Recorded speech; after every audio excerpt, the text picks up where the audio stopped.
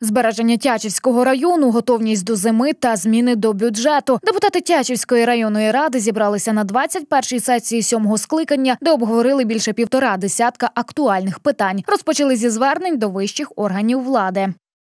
Нема жодного проєкту про е, зміни е, адміністративно-територіального устрою України. Є розмови, є бачення, є обговорення. От, і депутатів викликає Тячівський район е, є найбільшим сільським районом. Тому ми звернулися до президента, прийняли звернення до президента, до кабінету міністрів, щоб при реформуванні врахувати особливості гірських, то що е, е, концепція розвитку гірських, е, гірських територій України вона виокремлена.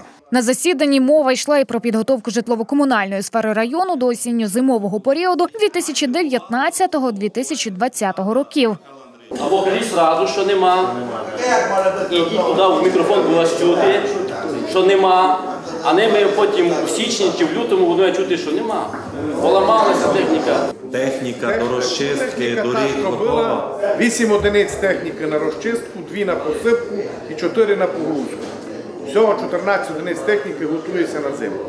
Тобто ви готові е, до зими. В тих, в тих рамках, які є, техніки нової не придбалося, все, що було старої, відновили, на зиму готує.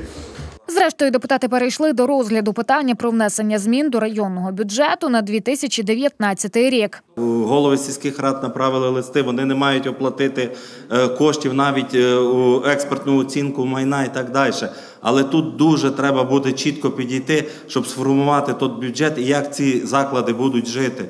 Окрім цього, депутати розглянули низку майнових питань, обговорили стан техногенної та пожежної безпеки населених пунктів, затвердили ряд важливих районних питань та домовились про наступну зустріч на другому пленарному засіданні для продовження роботи.